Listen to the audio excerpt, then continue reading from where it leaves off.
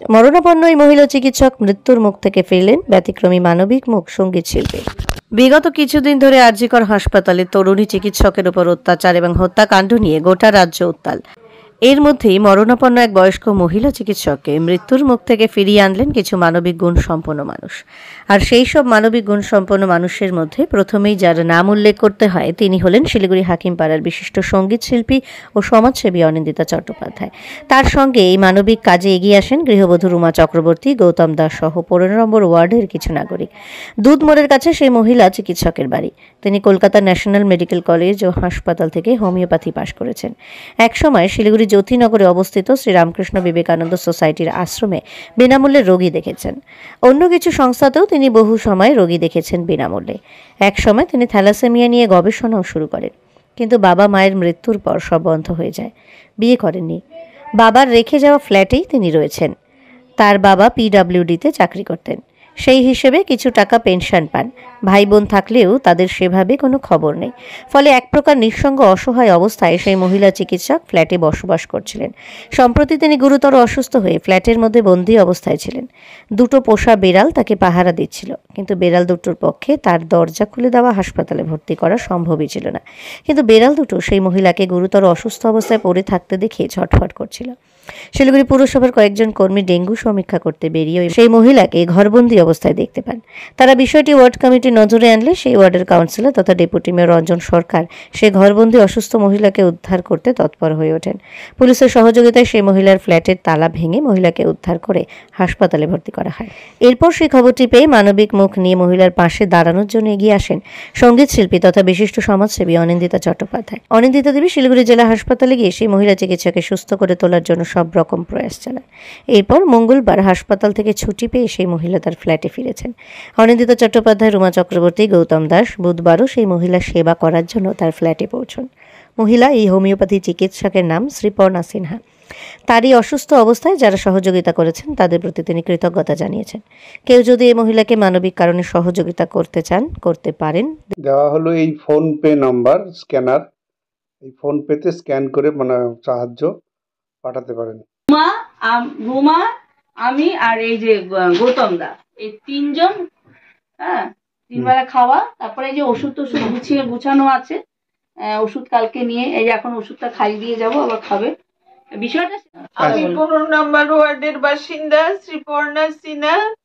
আজ আমি অনিন্দিতা দিদি গৌতম দা দীপা দীপা দীপা দিদি রুমা। রুমা দিদি রুমা চক্রবর্তী দিদি এই সব সমস্ত দিদির দয়ায় আমি আজকে আপনি যিনি আমাকে আজকে রিপোর্টিং করছেন সেই দাদার জন্য প্রত্যেকের দয়ায় আজকে আমি নিজের প্রাণটা ফিরে বাড়ি ফিরে আসতে পেরেছি।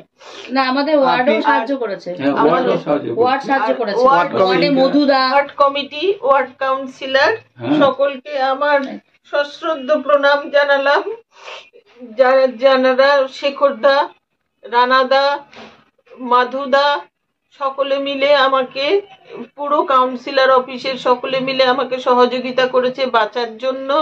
এই জন্য আমি আপনাদের সকলেকে শত কোটি প্রণাম জানালাম। আমার মতন এরকম অসহায় আরও যারা যারা আছে, তাদেরকেও আপনারা করেন। আমি জানি আমিও আপনাদের কাছ থেকে হেল্প পেয়ে সুযোগ পেয়ে আজকে বেঁচে ফিরে বাড়িতে এসেছি। এই জন্য আপনাদেরকে সকলকে আমার বাসিন্দাদের সকলকে শতকোটি প্রণাম জানালাম। আপনি কি করতেন আগে? আমি আগে আমি হোমিওপ্যাথি ডক্টর ছিলাম। রানাদার আশীর্বাদে আমি যখন পেসমেকার বসাই তারপরে হোমিওপ্যাথি ডক্টরিটা বন্ধ হয়ে যায়। যেহেতু হার্ড ওয়ার্ক করা যাবে না। তারপরে রানাদা আমাকে একটা নতুন জীবন দিয়েছিলেন আর আজকে আপনারা সকলে মিলে আমাকে আরেকটা নতুন জীবন দিলেন। আপনার এমনি রোজগার টোজগার রোজগার বলতে আমি যেহেতু অবিবাহিত বাবা নেই মা নেই বাবা চাকরি করতেন পিডব্লিউডি অফিসে ওই ওই বাবার সামান্য পেনশনটুকু মায়ের ওয়ান থার্ড করে যেটা মা পেতেন সেটাই ওয়ান থার্ড করে আমাকে দেওয়া হয়। হয়। এবং সেটা খুব সীমিত পরিমাণে। সেটা সব মানে অঙ্কের ইয়েটা অনেকটা বেশি। বাড়িটা আপনার নিজের ফ্ল্যাট বাড়িটা আমার বাবার নামেই আছে। বাবা কিনে দিয়ে গেছে? বাবা বাবা রেখে গেছেন এই ফ্ল্যাটটা হুম। আপনি বিয়ে শাদী আমি বিয়ে শাদী করিনি আমি একজন অবিবাহিত। আর আর কি বলব? এমনি আপনার ভাই বোন? ভাই বোন বলতে ভাই তো আপন মানে ভাই আপন ভাই। আপন ভাই বলতে সে তো মানে কোন রকম কোনো টাচে নেই। কয় ভাই বোন আপনারা? আমরা তিন ভাই বোন বড় দিদি আছে আসাম কোকরাঝাড়। আমি এখানে আছি আর ভাই আছে বোধহয় মালদা বা কলকাতা হবে। কোনো যোগাযোগ নেই? না কোনো যোগাযোগ নেই। এই যে আপনি পাঁচ দিন ধরে তালাবন্ধ অবস্থায় বিছানায় পড়েছিলেন। আপনাকে ওই সময় মানে কে দেখেছে? কি অসুবিধা ছিল ছিল ওই সময়তে আমার মানে রমাদি গৌতম দা এরা সকলে মিলে রুমাদি রুমা, রুমা রুমাদি সকলে কষ্ট হচ্ছিল খাই খাওয়া খাইয়েছিল। হুম আমি খেতেও পেরেছিলাম। কিন্তু এই যে হাই ফিভারটা হওয়ার পর একটা যে মানে তারপরে যে শোল্ডার লক হয়ে গেল তারপরে লুজ মোশন শুরু হলো ভমিটিং এবং লুজ মোশন শুরু হলো তারপরে কোমরটা পুরো লক হয়ে গেল। হুম সেই মোমেন্টে মানে তার আগ অবধিও আমি কিছুটা চলাফেরা করে মানে সকলের সঙ্গে যোগাযোগ রাখার চেষ্টা করতাম এবং ওষুধও খেয়েছিলাম। আমাকে সকলেই বলেছিল সবাই বলেছিল যে একটু ডাক্তারটা দেখিয়ে নাও। আমি ওই প্যারাসিটামল খেয়েছিলাম লক লকের জন্য ইয়ে খেয়েছিলাম। ওই ডাক্তারের অ্যাডভাইস নিয়েই আর কি। তারপরে মানে বিছানায় শয্যাশায়ী তারপরে বিছানায় এমন ভাবে কোমরটা লক হয়ে গেল বিছানায় পড়ে গেলাম। তখন কথা কথাও বলতে পারতাম না। কোমর উঠিয়ে যে কারোর সঙ্গে যোগাযোগটা করব বা দরজাটা গিয়ে খুলে দেব সেই ক্ষমতাটুকু আমি হারিয়ে ফেলেছিলাম। ও, ওই আপনাকে ওই সময় কি বিড়ালগুলো পাহারা দিচ্ছিল? ওই সময় আমরা একটা ভিডিও পেয়েছি দেখা যাচ্ছে আপনার চারপাশে বিড়াল ঘুরছে। হ্যাঁ। আপনার পোষ্য। ওই যে মনু আর মনুর বাচ্চা কুট্টুস ওরা ছিল।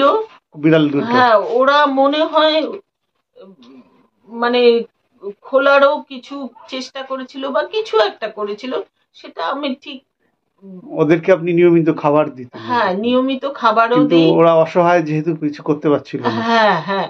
আর ওরাও অসহায় ওরাও গিয়ে দরজা খুলে দেবার মতন পরিস্থিতিতে ছিল না। ওরাও জানে না কীভাবে খুলতে হয়। তারপরে তো এনারা সবাই আপনারা সকলে মিলে এসে আমাকে রেস্কিউ করলেন। রেস্কিউ করে তারপরে এই যে দিদি ভাই আছেন এই দাদা আছেন আপনি কি নাম। ইনাদের আরেকবার নাম বলুন এবার অনিন্দিতা দিদি ভাই অনিন্দিতা চ্যাটার্জি দিদি ভাই গৌতম দাদা আপনার নাম তো আমার নাম দরকার নেই। আর আপনি আগে কি করতেন? রামকৃষ্ণ রুমা চক্রবর্তী দীপা দিদি শেখর দা মাধু দা রমা চৌধুরী এরা আরও আরও সবাই মানে কাউন্সিলর পুরো ওয়ার্ডের তার মানে মানবিকতা মনুষ্যত্ব আছে এখনও। অবশ্যই আছে না হলে আমি বেঁচে ফিরতাম না। বেঁচে ফিরতাম না, দাদা। অবশ্যই আছে। আর আমি অসহায়, আমাকে এরা কেউ কোনোদিনও বুঝতে দেয়নি। আমার পাড়া প্রতিবেশী এবং অনিন্দিতা দিদিভাই, আমি প্রথম এই অনিন্দিতা দিদিভাইয়ের কাছে এলাম। এরা কোনোদিন আমাকে বুঝতে দিল না যে আমি একজন অসহায়। যে আমার কেউ নেই। আপনি কি আগে রামকৃষ্ণ মিশনে কোনো ডাক্তারি আমি রামকৃষ্ণ মিশনের ডক্টর ছিলাম কোথায়? কোন জায়গায় এটা? দুই মাইল রামকৃষ্ণ মিশনের চ্যারিটেবল ডক্টর আচ্ছা ওই জ্যোতিনগরে যেটা। রামকৃষ্ণ হ্যাঁ।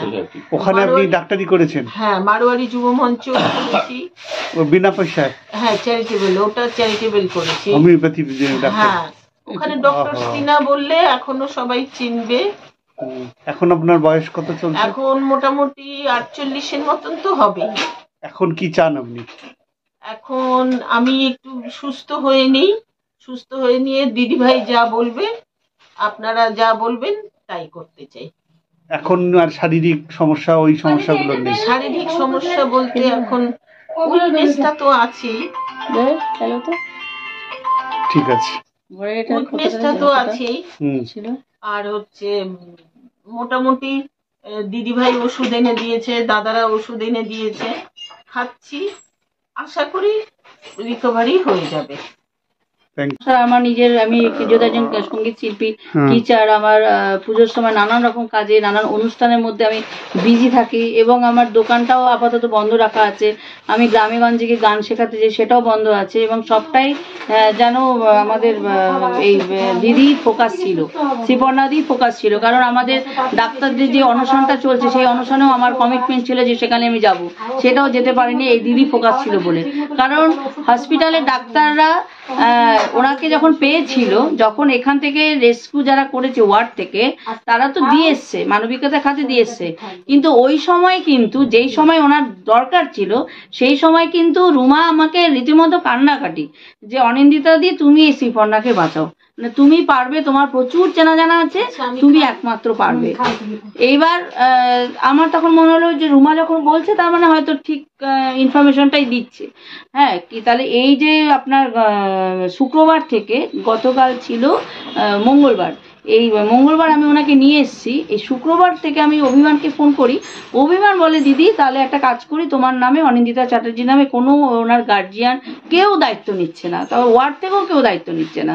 ওয়ার্ডের প্রত্যেককে বলা হয়েছিল যে মানে একজন গিয়ে সইটা করে আসেন? ওনার চিকিৎসাটা শুরু হবে। ওনার কোনো চিকিৎসা শুরুই হয় নাই। ওনাকে ওইভাবেই ফেলে রাখা ছিল। ঠিক আছে? সেই মুহূর্তে অভিমানকে আমার যে একটা ফোন এবং আমি ওনাকে ভয়েস টেক্সট আমার কাছে এখনও আছে, আমি বলেছিলাম, অভিমান, এরকম একটা নাম, আমি তাকে চিনি না। তুমি এটাকে একটুখানি প্লিজ বলে হ্যাঁ হ্যাঁ দিদি, তুমি বলছো, ঠিক আছে। তারপরে ওনার নামে ওটা বুক হয়ে গেল, অনিন্দিতা চ্যাটার্জি নামে ওটা সই হয়ে গেল। যাওয়ার পরে সেই রাত্রিবেলায় গিয়ে ওনাকে যখন আমি আইসিইউতে দেখি, তখন ডাক্তার একটাই কথা বলেছিল যে, ওনার কিন্তু খুব পসিবিলিটি কম। কেন ওনার হার্টটা সমানে লেভেল নেমে যাচ্ছে। মানে যদি ওনার হাই প্রেশার হয়, তাহলে উনি বেঁচে যাবেন। কিন্তু ওনার যেভাবে লো প্রেশার হচ্ছে, তখন ওনার প্রেশার থাকছে আমার নন চোখে দেখা, চল ফর্টি আর ফিফটি পাড়ার লোক, তারপরে যারা গিয়েছিল, তাদের কাউকে ঢুকতেই দেয়নি সিসিউতে কিন্তু আমি রাত্রি সাড়ে নটার সময় গিয়েছি, তখনও ঢুকতে দিয়েছে। সাতটার সময় দিয়েছি তখনও ঢুকতে দিয়েছে। এটা হসপিটালের সাথে একটা এত ভালো রিলেশনের জন্য আমাকে ঢুকতে দেওয়া হয়েছিল। এবং হসপিটাল থেকে ভয়ও পাচ্ছিল ওনাকে নেওয়ার, কারণ ওখানে নানান রকমের এনজিও নানানভাবে ওনাকে ডিস্টার্ব করার জন্য যাচ্ছিল। কিন্তু সব কথা যখন আমার কানে আসে, তখন আমি বললাম যে, কাউকে এনজিও যেতে হবে না, বলে দাও অনিন্দিতাদি নিজেই এটাকে দেখতে পারবে। হলো সেই দিন ছিল প্রথম দিন। পরের দিন যাওয়ার পরে ডাক্তার ধরিয়ে দিল যে ওনাকে সিটি স্ক্যান করতে হবে, ওনার ব্রেনের সমস্যা, ওনার হার্টের প্রবলেম ওনার কিডনি ভালো না, একেবারেই ভালো না লিভার একেবারেই ভালো না ব্লাড একেবারেই ভালো না। কিন্তু আমি যেহেতু মানে একটা পাওয়ার আমার ঈশ্বর আমায় দিয়েছে, আমি দেখেছি, সেই পাওয়ারের আমার পজিটিভ থিঙ্কিং আমি বলেছিলাম, না, ভালো হয়ে যাবে যদি আমি সত্যিকারে ওনাকে মন থেকে সেবা করতে পারি। মন থেকে চেয়েছিলাম যাতে উনি ভালো হয়ে যান। তারপরে ওনার কিন্তু বিকালবেলা গিয়ে ওনার ব্লাডটা আমি নিজে হাতে এক বিল্ডিং থেকে আরেক বিল্ডিং এ যাওয়া। তখন কোনো লোক নেই। এক রুমাকে আমি দেখেছি, ভোরবেলা সাতটার সময় ও খাবার নিয়ে যেত, চায়ের পয়সা দিয়ে আসতো ওকে ঢুকতে দিত না। আর আমি বাড়ির থেকে হয়তো কোনোদিন মাছের ঝোল কোনোদিন ডাল কোনোদিন তরকারি নিজে নিয়ে গিয়ে অনেক সময় খাইয়ে দিয়েছি আবার মাসিরাও খাইয়ে দিয়েছে এটা হচ্ছে সিসিউতে সেকেন্ড দিনের ঘটনা। থার্ড দিনের দিন সিটি স্ক্যানে নিয়ে যাওয়া, তারপরে সমস্ত কিডনি আমার সামনে আলট্রাসোনোগ্রাফি যখন হচ্ছে, বলে দেখুন আপনি ওনার বডি। ওনার বডি আমি সব জানি। কোথায় বডিতে ওনার বডিতে এমনকি গলবাটের স্টোনও ধরা পড়েছে। হালকা আছে। বলছে, আমি তো এখন কি অপারেশন করতে হবে? বলল, না, ওটার এখনও অতটা প্রবলেম নেই অপারেশন করতে হবে না। ওষুধ খেলে বা আপাতত এখন এটাতে থাকুক, দরকার পড়লে পরে দেখা যাবে। তো হলো, ওনার ওনার অ্যাকচুয়ালি যেটা হয়েছিল, উনি যে জ্বরে পড়েছিলেন, ওনার সিমিয়ার কার্ডিয়াক হয়েছিল। সিমিয়ার কার্ডিয়াক হয়েছিল, ডাক্তার সিভিয়ার হয়েছিল। একটা তো ওনার হার্ট শুয়ে ছিল। এটা কিন্তু পাড়ার লোক বা হাবিজাবি গৌতমদা কেউ জানে না কিন্তু। কিন্তু সমস্ত ওনার ডাক্তার রিপোর্টটা আমার কাছে জানা আছে। কেন ডাক্তাররা প্রত্যেকটা সেকেন্ডে আমার সঙ্গে কন্ট্যাক্ট করছে। এবং কি কপাল ভালো হসপিটালে যে রিসেপশন থেকে এই নার্স পর্যন্ত প্রত্যেকে এত সুন্দর কমিউনিকেট করেছে যে তারা নাম্বার আমাকে দিয়েছে তাদের সাথে আমি ওনার একটা কাজ ছিলাম। আমি কিন্তু মেডিকেল কলেজে আমার ওই যারা বন্ধুরা শঙ্করা সবাই ছিল তাদের পাশে কথা দিয়েছিলাম কিন্তু বসতে পারিনি কারণ আমার ফোকাস ছিল সিপর্ণা চিনা। সিপর্ণা চিনাকে বাঁচিয়ে এবার আমি যাব ওখানে কারণ ওটাও আমার দরকার। যেহেতু আমরা সমাজের জন্য বাস করি এটা দায়বদ্ধ। ওনার যে ওষুধ টষুধ এইবার তারপরে তো সব রিপোর্ট এত ভালো আসলো সব ভালো তখন ডাক্তার বলল ওনাকে বেশি দিন রাখতে হবে না। দিদি মেডিকেল কলেজেও নিয়ে যেতে হবে না। ওনার সেই ভয়টা চলে গেছে। ফিফটি পার্সেন্ট ফিফটি পার্সেন্ট ভালো। তারপরে প্রতিদিন যাচ্ছি, ওই খাবারে নিয়ে যাচ্ছি। প্রতিদিন কিন্তু উনি আরও মানে ভালো হওয়ার দিকে এগিয়ে যাচ্ছে। তারপরে জেনারেল বেডে নিয়ে যাওয়া হলো। জেনারেল বেডেও তো, তারপর আমি স্ট্রেচারে করে, ওই হুইল চেয়ার করে লোক দিয়ে প্রতিদিন দুবেলা ধরুন ওনার আয়ামাসি টাকা হসপিটালে এই যে দেড়শো টাকা করে লাগতো। এটা ধরো ওনার খাতিয়ে দিয়ে আসলাম। এটা মোটামুটি পাঁচ দিন দুবেলা রাখা হয়েছিল, দেওয়া হলো। কারণ ওনার কাছে তো কোনো লিকুইড পয়সা নেই, আর ওনার কাছ থেকে টাকা আমাকে দেওয়ার মতো নেই। আমার যাই হোক, এইগুলো হয়েছে আর কি। তারপর কালকে গিয়ে ছুটি, প্রায় তিন ঘণ্টা হসপিটালে থেকে তাকে ছুটি করা। তারপর ছুটি করে এত লম্বা, প্রায় এক মাসের ওষুধ দিয়েছে। সেই ওষুধ কে এনে দেবে? ওনার, এখন তো সবাই ফোন করছে, কিন্তু সেই ওষুধটা কে এনে দেবে? ওনাকে বাঁচতে হবে। এখন তো আমি যদি ওষুধটা না হয়ে কালকেই যে উনি অসুস্থ হয়ে যাবে। আবার কোনো লোক কিন্তু পাওয়া যাবে না। তো আমি কি করলাম? সাথে সাথে ওষুধের দোকানে গেলাম, গিয়ে ওষুধ করে বাড়িতে পুরো লিস্ট লিখে আবার বিকালবেলা নিয়ে আসলাম ওষুধটা। কারণ ওষুধটা খেতে হবে। এবার কিছুটা ভালো হলে ডাক্তার বলেছে ইএনটি দেখাতে হবে। ডাক্তার বলেছে ইকো ইকোকে আবার দেখাতে হবে। কারণ আমাদের যদি একে ভালো করে সুস্থ হতে হয় এবং এও যদি আবার আগামী দিনে আরও কয়েকটা মানুষকে ভালো রাখতে পারে, সে পরিষেবা দিতে পারে, তার জন্য আমাদের একে অপরের পাশে এগিয়ে যেতে হবে। এটাই হচ্ছে মনুষ্যত্ব সেই আমার এটা আসার পেছনে কারণ কারণ হলো যে মানে কোভিডের পর থেকে তো আমাদের খবরের ঘণ্টা সৌজন্যে আমরা খবরের ঘণ্টা প্রচুরভাবে আমাকে সাপোর্ট করে জানে সবাই জানে যে অনিন্দিতা দি নিঃস্বার্থভাবেই সমাজসেবা করে কোনো এনজিও থ্রুতে করে না কি কোনো দিন চাঁদা তুলেও করে না। মানে মানুষ মানুষের জন্য। মানুষ মানুষের জন্য ভাবেই করে সেবা। সেবাই মানুষ ধর্ম দুটো পয়েন্ট হচ্ছে এক নম্বর হচ্ছে উনি একজন ডাক্তারবাবু ছিলেন। উনি ডাক্তারবাবু এবং বিনামূল্যে উনি মানুষের সেবা না করেছেন। সেইটাও কিন্তু আমারই মানে ফোর্স করে বলা। কারণ আমি রুমাকে বলেছিলাম যে ওনার পরিচয়টা আগে আনো। এবার এই পরিচয় যে উনি ডাক্তারবাবু ছিলেন সেটা কিন্তু কেউ কাউকে ফ্লাশ করে নাই। এবং আমি কিন্তু হসপিটালে গেলে সবাইকে ফ্লাশ করেছি যে আপনি ডাক্তার আপনারও একদিন এরকম অবস্থা হতে পারে। এই বলে কিন্তু ওনার সম্মানটা আলাদা জায়গায় ক্রিয়েট করা আজকে আমাদের একটা মহিলা ডাক্তার হ্যাঁ, মৃত্যু নিয়ে হইচই হচ্ছে। হ্যাঁ, হ্যাঁ। উনিও একজন মহিলা ডাক্তার। মহিলা ডাক্তার। তিনি মৃত্যু মুখে চলে একদম। চলে গিয়েছিল। চলে গিয়েছিল এবং- ওনার বাড়ির পরিবারের সঙ্গে যখন ওনার যে বলল না পাঁচ ভাই বোন আছে যখন যোগাযোগ করেছিল তিন ভাই ওয়ার্ড থেকে ওরা বলেছে যে আমার ভা- দিদির ভাগ্যে যদি বোনের ভাগ্যে যদি বাচ্চা হয় বাঁচবে না হয় কিন্তু আমরা পারব না আমাদের সংসারে আমাদের অনেক কাজ ফেলে রেখে মানে শুনছিলাম কি শ্মশান ঘাটও নাকি? শ্মশান ঘাটও রেডি কে বলছে যে তোমরা এখানে একে আনোই না ওই দিক থেকে চলে যেও। মানে এরকম অবস্থা। মানে ওনার যে মানে কীভাবে ওনাকে যে আমরা সার্ভাইভ করেছি রেস্কিউ করেছি একমাত্র ঈশ্বর আমি আর রুমাদি জানে। তার মানে এখন আরেকটা জিনিস হচ্ছে দেবী পক্ষ চলছে মহালয়ার সময় থেকে। এটা দীপাবলি অবধি চলবে দেবী পক্ষে। একদম। দেবী পক্ষে একজন দেবীকে সুস্থ করার জন্য আপনারা ঝাঁপিয়ে পড়েছেন। ঝাঁপিয়ে পড়েছি দেখুন আমি তো ওনাকে কোনো চিনতাম না। আমার তো হসপিটালে গিয়ে আলাপ হয়েছে। আর এখন উনি আমাকে চেনেন আমি ওনাকে চিনি। মানে ওনাকে মাতৃরূপে নিজের বোন উনি আমাকে পেয়েছেন এটা সত্যিকারের গড গিফটের কারণ কি দেখুন আমার মেয়ে এখন বোর্ড দেবে একটা ওই সময়। আমার নিজেরও একটা সংসারে একটা আলাদা কাজ আছে। সব কিছু ফেলে আমাকে তো গতকাল থেকে আমি দুবেলা আসা বা সমস্ত সারাউন্ডিংকে ক্লিন করে বা এই যে আয়ামাসি রাখা একদম। এই যে চিন্তা করা এই চিন্তাগুলো জেনারেল বাড়ির লোক করে। এই চিন্তাগুলো মনে হচ্ছে আমি আমার বাড়িতেই কাজ করাচ্ছি। আমি আমার বাড়িতে কাজ করাচ্ছি মানে এই মেন্টালিটি ভেবেছি বলেই কিন্তু বারবার আসছি। পরিবারের কেউ রাত্রি সাড়ে দশটা পর্যন্ত ছিল না এটা তো এটা তো বিশাল মানে ব্যাপার পরিবারের কেউ অসুস্থ হ্যাঁ, হলেও তো আমরা আমরা তো মুঠো ফোনে অনেক সময় অনেক রকম কথা বলে থাকি না ফোনের মাধ্যমে। কিন্তু বাস্তবে যারা আসে তারাই তো আসল হিউম্যান না কালকে একদম মানে রাত্রি সাড়ে দশটা পর্যন্ত ছিল। আমার নাম গৌতম দাস।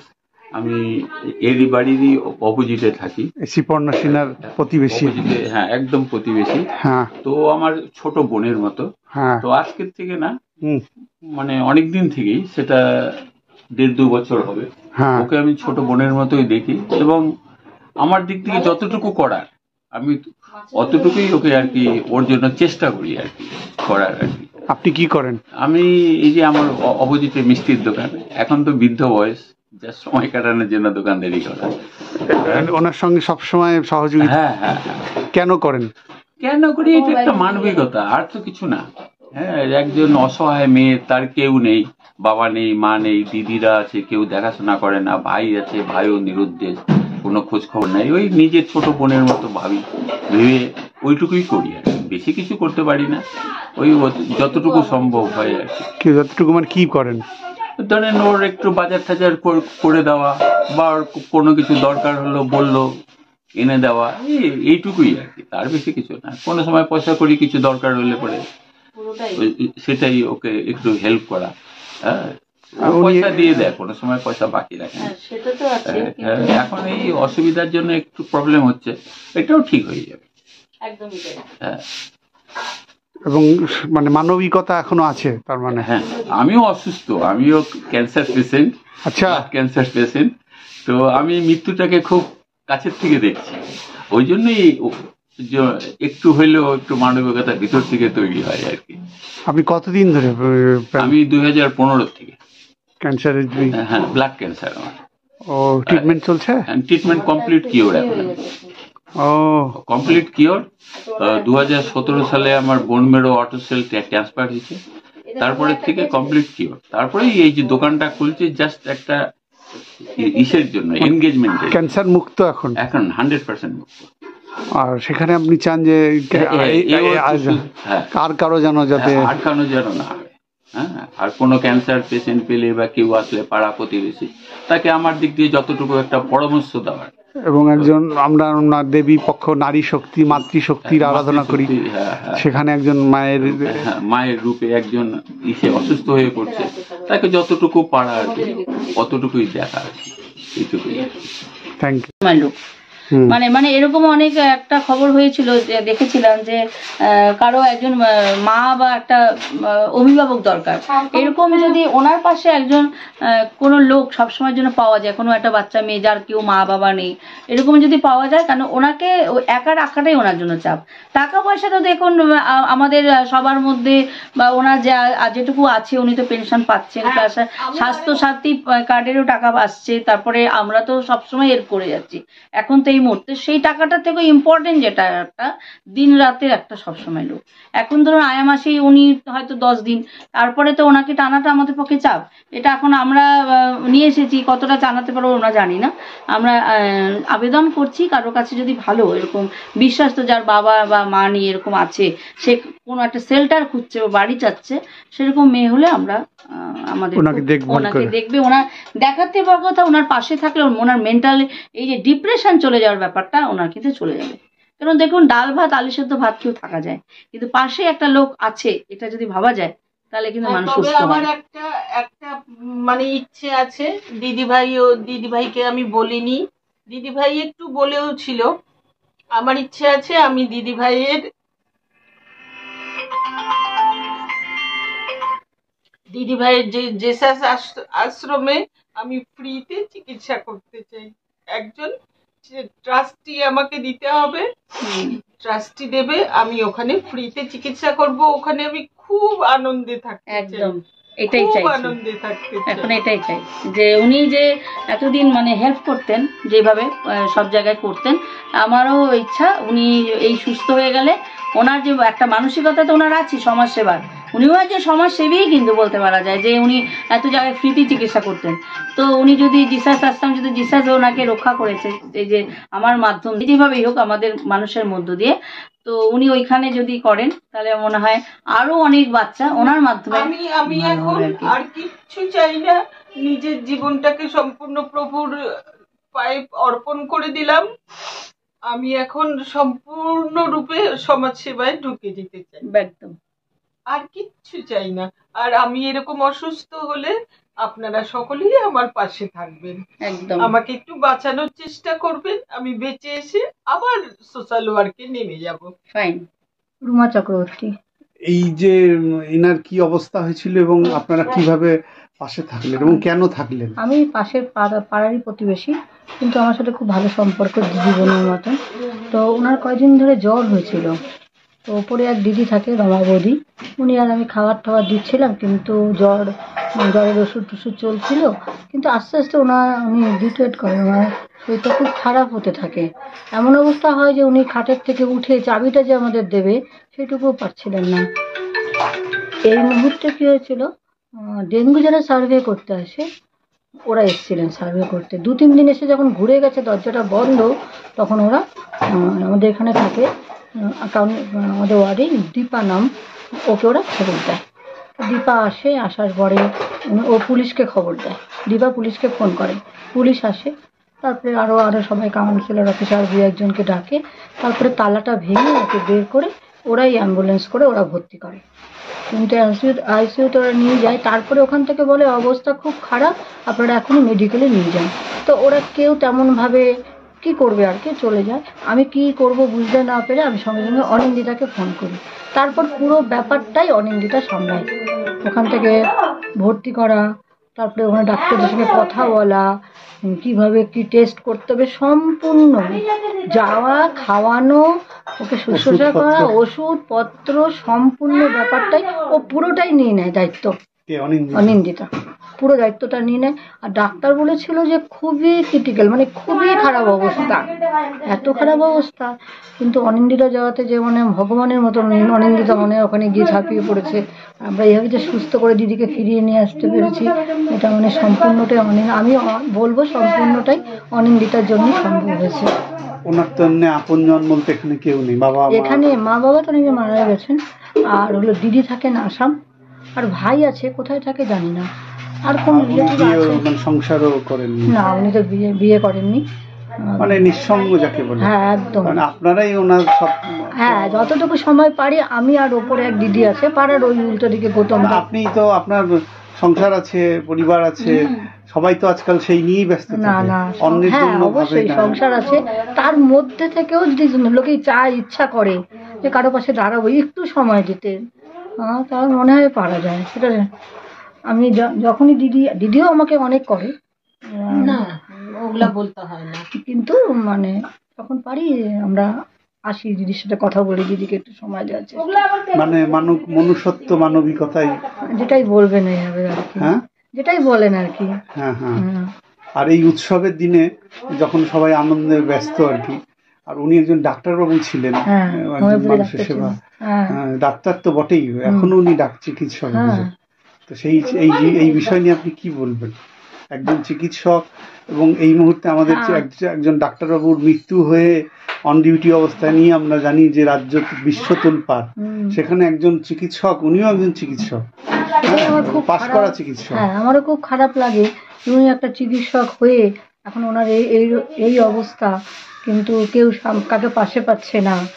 আর এখন ওনার এই অবস্থা উনি এখন প্র্যাকটিস করার মতন পরিস্থিতি নেই। হ্যাঁ এখন অনিন্দিতা পাশে এসেছিল বলে এরকম যদি আরও কেউ আসে কিন্তু অনিন্দিতা পাশে এসেছিল বলেই আমরা দিদিকে এইভাবে ফিরিয়ে আনতে পেরেছি। এখন আরও কিছু মানুষ যদি এগিয়ে আসে হ্যাঁ, তাহলে তো ওনার একটা সাপোর্ট হয়। একদম। আরও মানুষ যদি এগিয়ে আসে তাহলে অনিন্দিতার একার পক্ষে তো এতটা সম্ভব না। খরচ কারণ খরচা হ্যাঁ, আছে। এখন ওনার অনেক ট্রিটমেন্ট করতে হবে। ডাক্তারের কাছে নিয়ে যাওয়া চেক আপ করা ওষুধপত্র সম্পূর্ণ পেসমেকার আছে।